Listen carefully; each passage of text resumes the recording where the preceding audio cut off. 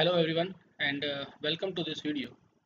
In this video, we will talk about a very important topic, a very important concept of calendarization.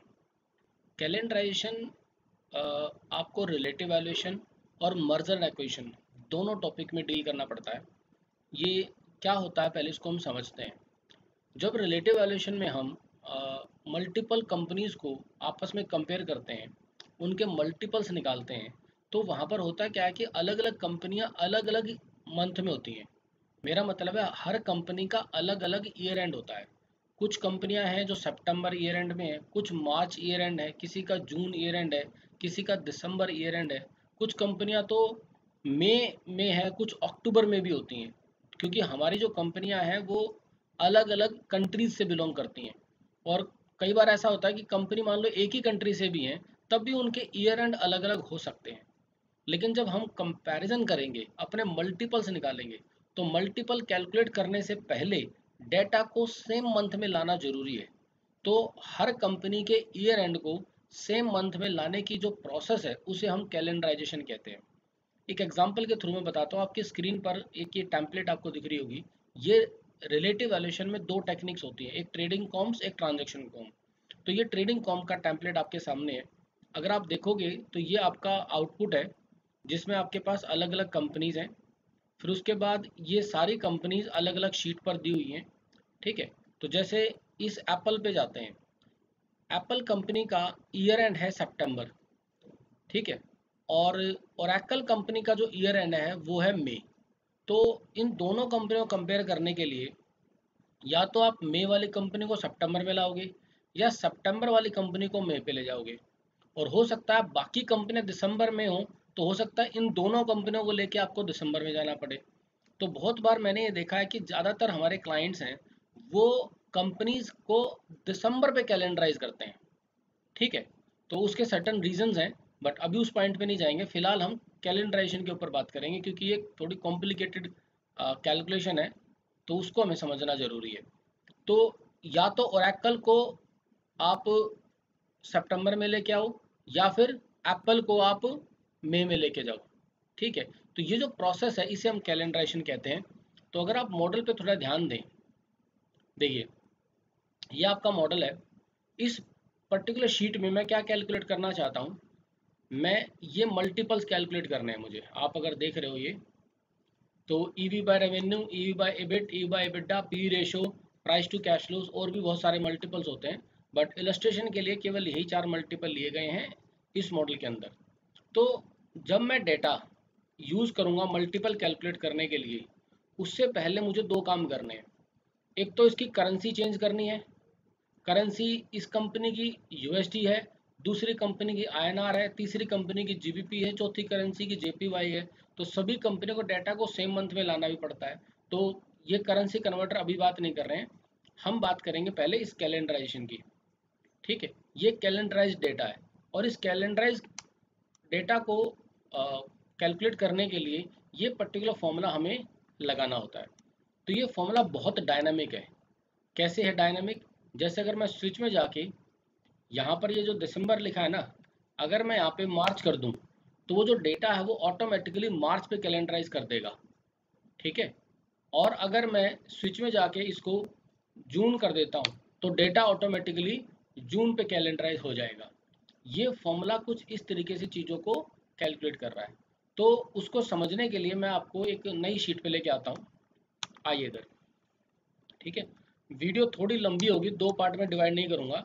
अगर आपको आ, कोई problem आए तो दोबारा वीडियो समझ के दोबारा वीडियो देख करके समझने की कोशिश करें। तो मैं एक डाटा ले, ले लेता हूँ कि जैसे मेरे पास एक कंपनी है जिसका ईयर एंड है जून जून थर्टी ठीक है? और इसको मैं कलर कर देता हूँ क्योंकि मैनुअली पंच करते हैं मॉडल के अंदर। और यहाँ पर मैं लगा देता हूँ स्विच स्विच क्या होता है? हमारे मॉडल का कंट्रोल पार्ट ठीक है? मैं चाहता हूँ कि जब यहाँ पर वन लिखा हो तो यहाँ पर मुझे जैन दिखाई दे। टू लिखा हो तो फेबरी और ट्वेल्व लिखा हो तो दिसंबर तो इसको करने के तरीके बहुत सारे हैं। आप चूज़ फ़ंक्शन लगा सकते हो ऑफसेट फ़ंक्शन लगा सकते हो। मैं फ़िलहाल इंडेक्स फ़ंक्शन लगा रहा हूँ। तो इक्वल टू इंडेक्स तो आप ये देखो कि पहला पैरामीटर क्या है? एरे तो इसको मैंने एरे बना लिया कोमा इस एरे की कौन सी row second parameter row number तो इसके आगे लिखा था ना वन उस पर क्लिक कर दिया। कोमा कौन सा column column one bracket close enter अब अगर मान लीजिए मैं यहाँ पे ट्वेल्व लिखता हूँ तो ये दिसंबर देगा। अगर सिक्स लिखता हूँ तो जून, और थ्री लिखता हूँ तो मार्च। तो जो प्रोसेस हम चाहते थे वो यहाँ पर पॉसिबल हो गई है।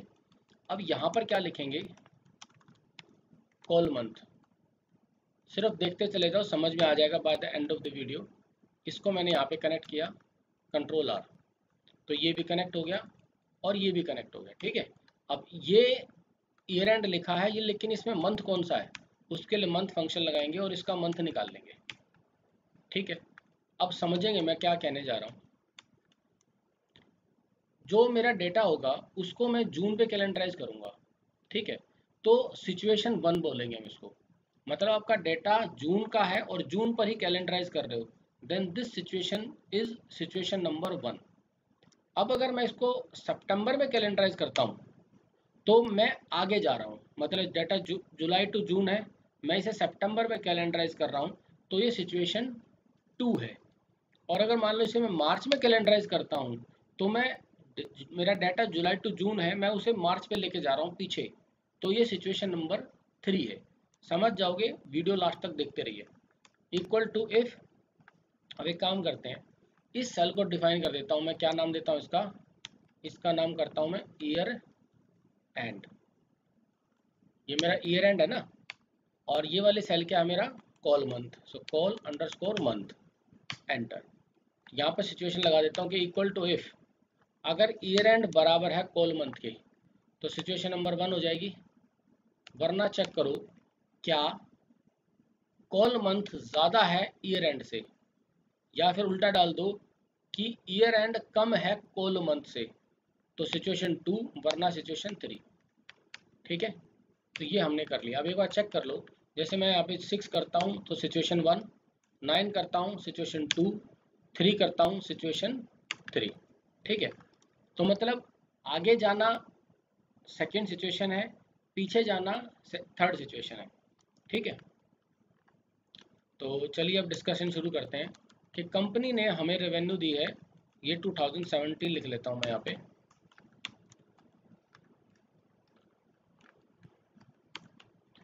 ये सौ रुपये ये डेढ़ सौ रुपये two fifty five hundred and six fifty ऐसी कुछ हमारी रेवेन्यूज़ हैं।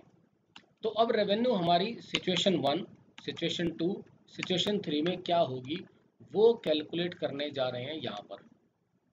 ठीक है? तो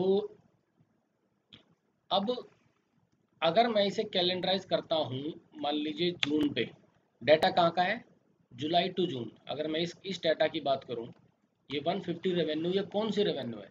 ये है जुलाई 2017 से जून 2018 क्यों? क्योंकि मेरा ईयर एंड जून होता है। तो ये डाटा कौन सा है? जून 2018 तो ये जुलाई 17 से जून 18 का डेटा है। तो अगर मैं डेटा जून का है, जून पे कैलेंडराइज कर रहा हूँ तो डेटा विल रिमेन सेम कोई चेंज नहीं होगा इतनी आपको बात आराम से समझ में आ जाएगी। अब जो मैं समझाने जा रहा हूँ, उसके लिए मुझे कुछ कलर्स की रिक्वायरमेंट आएगी। जैसे मैं इसको सितंबर में कैलेंडराइज कर रहा हूँ, ठीक है? और कैलेंडराइजेशन की बात आ रही है 2018 की। तो देखो क्या होगा। एक कॉलम को आप मान लेना कि वो एक क्वार्टर है, ठीक है? तो मेरे पास अगर ये 150 वाला डेटा है तो ये कौन सा डेटा है? This is July 17 to June 18 यही डेटा है। अब हम इसे कैलेंडराइज कर रहे हैं सितंबर में। तो उसका मतलब क्या हुआ कि हम तीन तीन महीने आगे जाने की बात कर रहे हैं। तो ये डेटा अब यहाँ पर होने की बात होगी समझना इसको ध्यान से। ये देखो। तो हम इसे कह रहे हैं कि सितंबर में कैलेंडराइज करो। मतलब इस कंपनी का जो ईयर एंड है, वो जून नहीं, सितंबर करो। तो मतलब ये सितंबर 18 करो। तो सितंबर 18 का मतलब ये हुआ ना कि ये नौ महीने उठाओ और इसके तीन महीने जोड़ दो। समझो इस बात को। पहले अभी डेटा है जुलाई सत्रह से जून अठारह। अब बात हो रही है कि सितंबर में लेके जाओ। तीन महीने आगे लेके जाओ। तो भाई इसकी बात यही है ना कि इसके तीन महीने छोड़ दो ये पहले वाले, और ये नौ महीने रखो, और ये तीन महीने जोड़ दो। यही तो बात हुई। देखो, इसके नौ महीने रखेंगे, अगले तीन महीने जोड़ेंगे, तभी तो मेरे बारह महीने होंगे। तो इसका मतलब है कि अब इसके नौ महीने और इसके तीन महीने उठाओ। तो उस कैलकुलेशन के लिए मैं क्या करने वाला हूँ, बड़े ध्यान से समझना। ये पूरा डेटा डिवाइड बाय ट्वेल्व कितना हो गया? एक महीने का डाटा इंटू नाइन कितना हो गया? नौ महीने का डाटा प्लस अगले साल का डाटा डिवाइड बाय तीन divide by twelve into three तीन महीने का डाटा ठीक है? तो ये जो डेटा आया है 175 ये कौन सा डेटा आया है? ये डेटा आपका आया है अक्टूबर 2017 से सितंबर 2018 ये जो डेटा ये कौन सा है? ये अक्टूबर 17 अक्टूबर अक्टूबर 17 से सितंबर 18 ठीक है, ये जो मैं बोलता हूँ ना, अक्टूबर सेवन अक्टूबर, सितंबर, ये सब कई बार समझने में आपको परेशानी हो सकती है बट वीडियो दो बार, तीन बार देख लो, समझ में आ जाएगा। ठीक है तो ये पूरे तीन साल की कैलकुलेशन कंट्रोल आर करने से आ जाएगी। तो अब जब मैं कैलेंडराइज करूँगा मतलब मल्टीपल निकालूँगा तो जो मेरा मल्टीपल होगा वो एंटरप्राइज वैल्यू डिवाइड बाय ये वाली रेवेन्यू होगी। अगर कंपनी को सितंबर में कैलेंडराइज किया गया तो इतनी बात क्लियर है? अब एक काम करके देखते हैं। मैं इस बार इसको जुलाई में कैलेंडराइज करता हूँ। किसमें कर रहा हूँ? जुलाई में। तो अब क्या करना है? ध्यान से समझना मेरी बात को। अब मेरा डाटा कहाँ का है? मेरा डाटा करंट में इस डाटा की बात कर रहा हूँ मैं 150 की।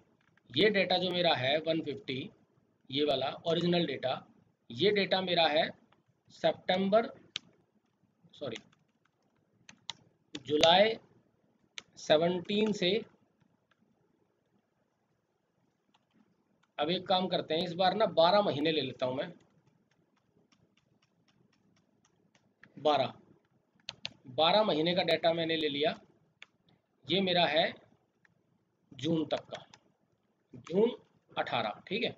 अब बात हुई है कि जुलाई में कैलेंडराइज करो तो मतलब एक महीना आगे जाओ ना, यानी कि ये वाला डाटा लेना है। कैलेंडराइज कहाँ पे कर रहा हूँ? जुलाई में, क्योंकि जून तक का तो है, जुलाई पे कैलेंडराइज करना है, ठीक है?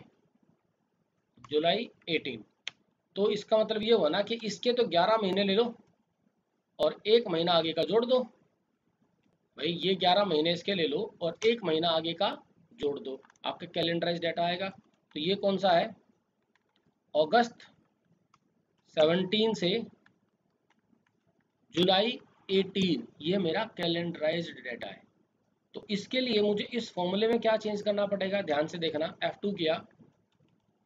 इसको इंटू इलेवन क्योंकि करंट ईयर के मुझे ग्यारह महीने रखने हैं और अगले साल का मुझे सिर्फ़ एक महीना लेना है। एंटर कंट्रोल आर आपको मेरी बात शायद समझ में आई होगी थोड़ी सी। एक एग्जांपल और ले लेते हैं। इस बार मैं इसको नवंबर में कैलेंडराइज कर रहा हूँ। कहाँ पे कर रहा हूँ? नवंबर में कैलेंडराइज तो क्या मतलब हुआ कि मैं पाँच महीना आगे जा रहा हूँ? ठीक है? ये मैं गया नवंबर 18 तो इसका मतलब क्या हुआ? ये पाँच महीने इसके छोड़ दो। देखो अभी समझ में आएगा। यानी कि यहाँ से स्टार्ट करो कि दिसंबर 17 से नवंबर 18 क्या मतलब हुआ? मैं हूँ, मेरा जो डेटा है, वो जुलाई टू जून है। मैं नवंबर पे लेके जा रहा हूँ, पाँच महीने आगे जा रहा हूँ। तो करंट कॉलम में सात रखो, अगले कॉलम के पाँच जोड़ दो। ठीक है? तो क्या कैलकुलेशन करेंगे यहाँ पे? इनटू कितना करूँगा मैं? सात। क्योंकि पाँच अगले कॉलम से उठाने हैं। तो अगले कॉलम से पाँच, ये लो जी। अब बात यह है कि सर, यहाँ पर मैं कुछ भी लिखूं, कुछ भी लिखूं मतलब सात, आठ, नौ, दस, ग्यारह और बारह, जुलाई, अगस्त, सितंबर, अक्टूबर, नवंबर, दिसंबर, हम, मैं यहाँ पे कुछ भी लिखूँ ऑटोमेटिकली मेरी ये जो कैलकुलेशन है ना, अपने आप आनी चाहिए। यहाँ तो मैंने क्या किया, कभी अगले पाँच कॉलम जोड़ दिए, कभी अगले एक कॉलम जोड़ दिया। ऐसे कर रहा हूँ ना मैनुअली समझाने के लिए। बट इस चीज़ को फ़ंक्शन के थ्रू बनाना है। ठीक है कि ऑटोमेटिकली कैलकुलेट हो। तो ऑटोमेटिकली कैलकुलेट करने के लिए देखिए क्या करेंगे अभी हम।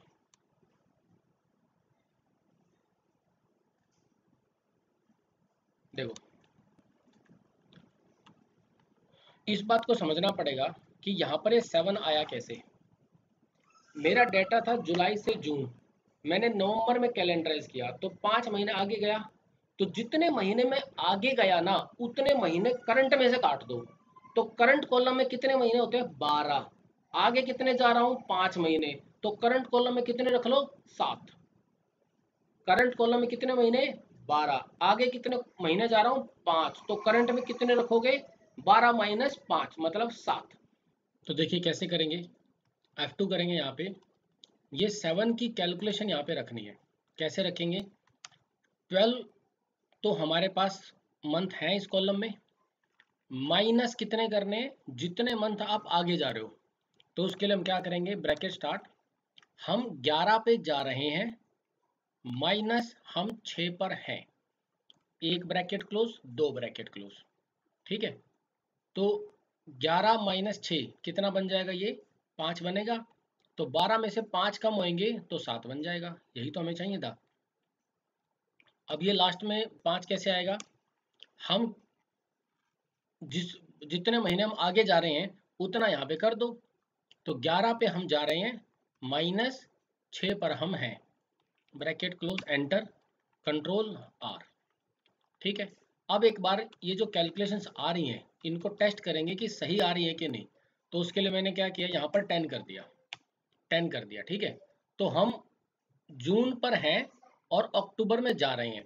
तो चार महीने आगे जा रहे हैं तो करंट कॉलम के हम आठ रख लेंगे। ठीक है? कैसे करेंगे? देखो equal to this divide by twelve into eight plus अगला divide by twelve into four ये देखिए वैल्यूज़ मैच हो रही हैं प्रॉपर मैच हो रहे हैं, कोई दिक्कत नहीं है। अब एक काम करते हैं, इसको मैं नवंबर आई मीन सितंबर करके देखता हूँ। Equal to revenue divide by twelve into हम जून पर हैं सितंबर में जा रहे हैं। तो तीन महीने आगे जा रहे हैं। तो करंट में कितने रखेंगे? Nine plus this divide by twelve into three तो ये जो डेटा है, ये देखो, ये भी प्रॉपर मैच हो रहा है। इसका मतलब ये है कि सेकंड सिचुएशन में जो हमारी रेवेन्यू है, वो परफेक्ट आ रही है। कोई दिक्कत नहीं है। अब बात आती है जी सिचुएशन नंबर थ्री की। सिचुएशन नंबर थ्री में क्या करेंगे? डेटा हमारा है जून का और हम जाएँगे मान लीजिए मार्च में। तो उसके लिए क्या करना है? देखिए, हम हैं जून पे। जुलाई टू जून हमारा डेटा है। हम सितंबर हमारे मार्च में। तो तीन महीने पीछे आ रहे हैं। तो करंट के क्या करेंगे? नाइन रखेंगे। Divide by twelve into nine plus पीछे वाले क्या करेंगे? Divide by twelve into three ये कैलेंडराइजेशन हो गया। ये सिचुएशन नंबर थ्री हो गई। तो अब एक काम करके देखो, मान लीजिए मैं इसको कैलेंडराइज करता हूँ फैब में, ठीक है? तो फैब में सिचुएशन नंबर थ्री है कैल कैलकुलेशन यहाँ पे रखेंगे। तो डेटा हमारा है जुलाई से जून तक।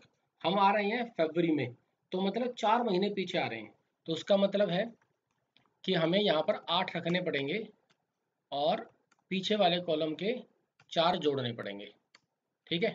कंट्रोल आर ठीक? अब बात ये आती है कि सर इसको ऑटोमेटिक करो। तो ऑटोमेटिक करने के लिए क्या करेंगे? देखो, यहाँ पर आठ बनाना है, कैसे करेंगे? ट्वेल्व हमारे थे माइनस क्या? जितने महीने हम पीछे जा रहे हैं, उतने करंट में से काट लो। अब हम जून पर हैं फैब में आ रहे हैं। तो हम चार महीने पीछे आ रहे हैं तो करंट के आठ रखेंगे। मतलब बारह माइनस चार करेंगे और पीछे के चार जोड़ देंगे। तो चार कैसे करेंगे? ब्रैकेट स्टार्ट हम छ पर हैं माइनस हम दो पर जा रहे हैं। तो छ माइनस दो क्या होगा चार। ठीक है? तो बारह में से चार माइनस होंगे तो आठ आ जाएगा। अब बात आती है लास्ट में चार कैसे लाओगे? ये भी बड़ा आसान है कि bracket start six minus two ये कैसे आया? हम लोग छः पर हैं और दो पर जा रहे हैं। हम लोग जून पर हैं और फरवरी में जा रहे हैं। कंट्रोल आर तो ये तो चलो ठीक है। अब इसको देखना कि ऑटोमेटिक सही हुआ है कि नहीं हुआ है। तो मैं काम करता हूँ, इसको इस बार मे पर कैलेंडराइज करता हूँ। तो ये कैलकुलेशन जो आ रही है, इसे चेक करना है कि सही आ रही है कि नहीं आ रही है। तो क्या करेंगे? Equal to this divide by twelve into कितना? हमारा डेटा है जुलाई टू जून। हम लोग मे पर आ रहे हैं मतलब एक महीना पीछे। तो करंट के हम क्या करेंगे? ग्यारह रखेंगे प्लस और पिछले वाले divide by twelve into one हम पिछला एक महीना जोड़ देंगे। तो देखिए कैलकुलेशन हमारी एकदम परफेक्ट आ रही है। अब एक और सिचुएशन लेके देख लेते हैं, चलो। अब हम चलते हैं, मान लीजिए, जनवरी पे। ठीक है? तो जनवरी में ये डेटा क्या है? सही है क्या नहीं है? वो चेक करना है। तो equal to this divide by twelve into कितना? हम लोग जुलाई टू जून डेटा पे हैं और मई पर आ रहे हैं मतलब पाँच महीने पीछे जा रहे हैं। ठीक है? तो करंट के कितने रखेंगे हम? सात। क्योंकि टोटल बारह होते हैं, हम पीछे आ रहे हैं ना पाँच महीने तो करंट के साथ रख लिए और पीछे वाले के पाँच जोड़ दिए। तो ये देखिए, ये डाटा भी बिल्कुल परफेक्ट आ रहा है। तो इस तरीके से हमारी तीनों सिचुएशन में ये अलग अलग रेवेन्यू होंगी। ठीक है? अब एक काम और करते हैं। बस इसके बाद मैं आपको पूरा कैलेंडरेशन का फॉर्मूला लगा दूँगा, क्योंकि अभी तक मैं सिर्फ़ आपको कॉन्सेप्ट समझा रहा हूँ। मान लीजिए हमारी कंपनी का ईयर एंड है मार्च, और अब मैं उसे सितंबर कैलेंडराइज कर रहा हूँ तो क्या ये सिचुएशन टू परफेक्ट कैलकुलेशन दे रही है? ये चेक करना है। कैसे करेंगे? देखो equal to this divide by twelve into कितना? हमारा डाटा है अप्रैल टू मार्च। भाई, ईयर एंड मार्च हो गया ना अब। अप्रैल टू मार्च है, सितंबर में जा रहे हैं मतलब छः महीने आगे जा रहे हैं। तो छः महीने करंट के रखो plus this divide by twelve into six छः महीने आगे के जोड़ दो। ये देखिए सिचुएशन टू से मैच करना है, इससे मैच करो, बिल्कुल परफेक्ट है।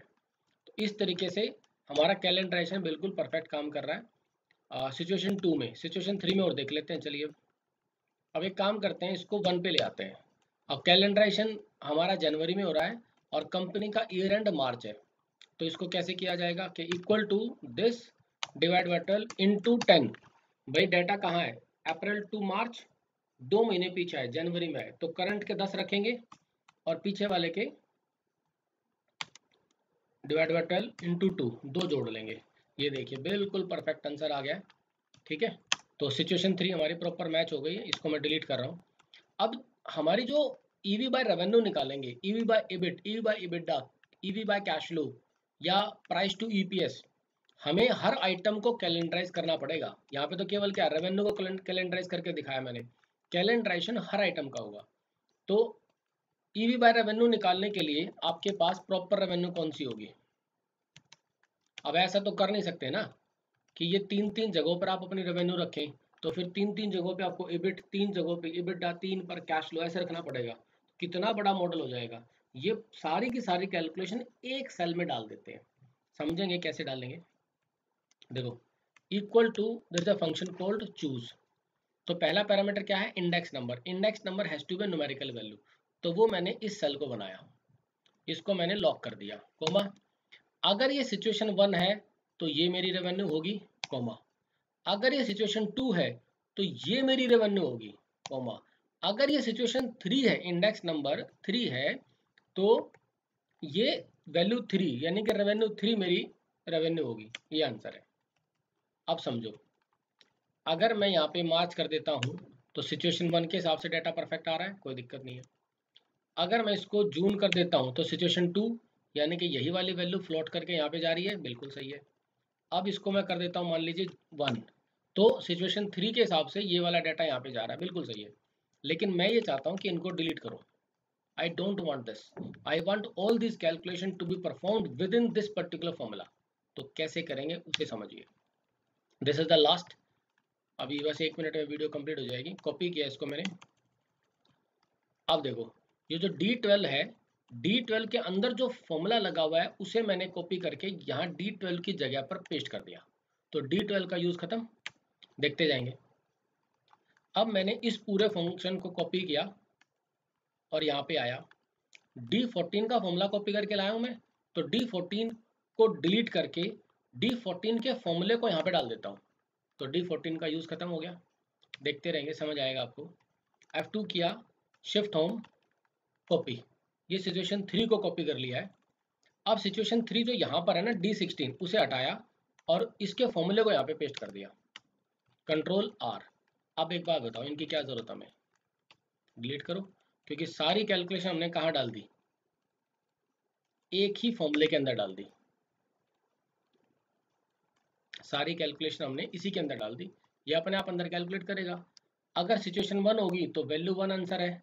अगर सिचुएशन टू होगी तो ये वैल्यू टू यहाँ से लेकर के यहाँ तक है। ये कैलकुलेशन आ जाएगी।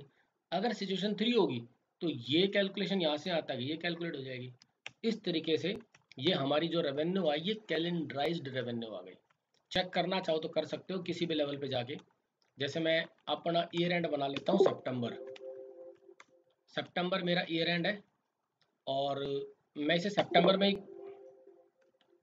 सितंबर में ही कैलेंडराइज कर रहा हूँ। सॉरी यहाँ पर मैं इसको नाइन करना भूल गया। एक मिनट सितंबर कर देता हूँ इसको। और सितंबर में तीस दिन होते हैं तो तीस हो गया। ठीक है तो ये देखो डाटा मैच हो रहा है, कोई दिक्कत नहीं है। सिचुएशन वन है तो सेम डाटा आएगा। अगर मैं दिसंबर पे कैलेंडराइज कर दूँगा तो ये देखो, सही सिचुएशन आ रही है बिल्कुल, कि this divide by twelve into nine plus this divide by twelve into three ये देखिए मैच हो गया, ठीक है। सिचुएशन थ्री के हिसाब से, अगर मैं इसको जून पे कैलेंडराइज करूँगा तो equal to this divide by twelve into nine plus this divide by twelve into three ये देखिए परफेक्ट मैच हो रहा है। तो इसी के साथ अब आप एक बार अपने मॉडल पे आ जाओ। तो जितनी भी शीट्स हैं, हर शीट पे, हर शीट के ऊपर ये फॉर्मूला लगा हुआ है। ये देखो रेवेन्यू कैलेंडराइज हो रही है एबिट कैलेंडराइज हो रहा है एबिडा हो रहा है ईपीएस हो रहा है, सब कुछ कैलेंडराइज होकर के आएगा और ये फॉर्मूला हर शीट पे लगा हुआ है, किसी भी शीट पे चले जाना। क्योंकि अगर ये कैलेंडराइजेशन लगाएँगे नहीं तो आपकी अलग अलग कंपनियाँ अलग अलग ईयर एंड में होंगी। तो जो डिनोमिनेटर है, सबका अलग अलग होगा। एंटरप्राइज वैल्यू तो लेटेस्ट है, लेकिन जो denominator EV by revenue enterprise value सभी कंपनी के लेटेस्ट है बट रेवेन्यू सबकी अलग अलग टाइम पीरियड की है। किसी का डाटा जून तक का है, किसी का सितंबर का है, किसी का दिसंबर तक का है। तो सबकी रेवेन्यू सबका इबिट सबका कैश फ्लो एक मंथ में लाना ज़रूरी है। और इस प्रोसेस को ही हम क्या कहते हैं? कैलेंडराइजेशन अब ये जो कैलेंडराइजेशन है, आपका रिलेटिव वैल्यूएशन में भी आया, ये आपका मर्जन एक्वेशन में भी आया और ये आपका और दूसरी सिचुएशन में भी आएगा। तो ये वीडियो इतना ही। इस वीडियो को दो बार देखेंगे, समझ आएगा बट उसको एक्सेल में एक बार करके ज़रूर देख लेना। Thank you very much